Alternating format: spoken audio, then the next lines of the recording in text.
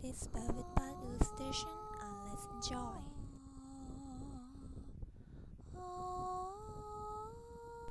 Susan and Ned were driving through a wooden empty section of the highway. Lightning flashed, thunder rolled, the sky went out in the torrential downpour. We would better stop, said Susan. Ned nodded his in agreement. He stepped on the brake, and suddenly the car started to slide on the slick pavement. They sprung off the road and slide to a hole at the bottom of an incline. Pale and shaking, Ned quickly turned to check if Susan was all right. When she nodded, Ned relaxed and looked through the rain-soaked windows.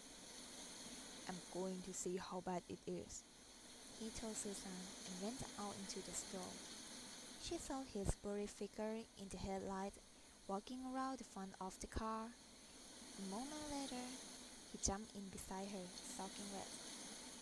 The car not badly damaged, but we will them in mud, he said. I'm going to have to go for help. Susan swallowed nervously. There would be no quick rescue here. He told her to turn off the headlights and lock the doors until he returned. Axe Murder Hollow. Although Ned hadn't said the name aloud, they knew that he had been thinking when he told her to lock the car.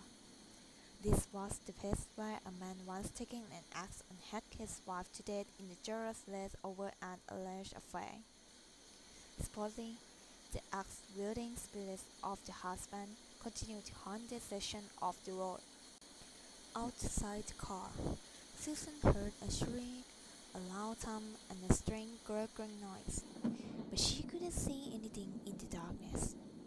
Frightened, she shrunk down into her seat.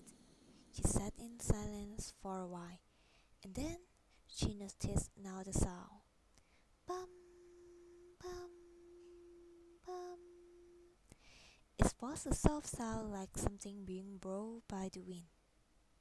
She started to look around, wondering where the sound come from. Then she looked up to the sky and see soft light shine through the dark cloud.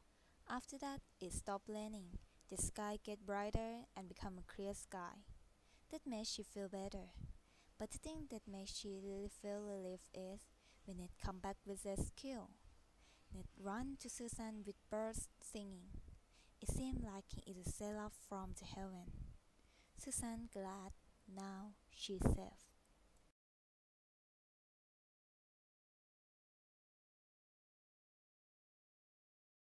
But suddenly her head felt hurt, and all things turned red. The last thing that she recognized is Ned calling her name out loud, with shedding tears.